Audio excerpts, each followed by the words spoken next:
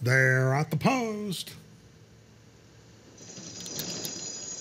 Thereof, the Wildcat Gold, May Dream from the outside. And coming on now, May Dream takes the lead.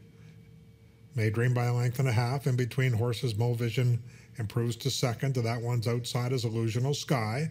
At the Real English Holiday, just two lengths off the lead.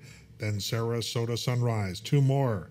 The Wildcat Gold. To her inside, Very Cherry Candy. Oro Luce trails six lengths off the lead of this freewheeling leader. May Dream, this long shot, leads it by three lengths in the run to the 3 8 pole. Back in second, Mo Vision. The gray Illusional Skies third, four lengths from the front. Then Very Cherry Candy, Sarasota Sunrise has five to make up. Second to last, a Wildcat Gold. Then Oro Luce. They ran a half in 46 and three fifths of a second. They're getting closer to May Dream now. Here comes Illusional Sky.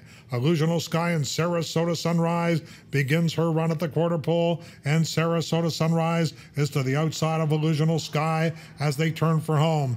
It's Illusional Sky. Tommy Wong trying to get her home on the outside. Sarasota Sunrise is trying her best. Luce has come from last. They're in the last 16th of a mile. Illusional Sky is holding on bravely. Illusional Sky at 6 to 1 in the sixth a place photo that perhaps will go to Sarasota Sunrise over Oro Luce with the Wildcat Gold fourth.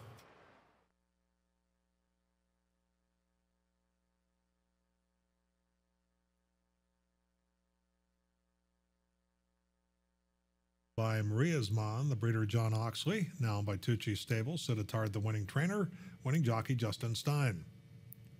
Eight Sarasota Sunrise second, one Oro was third.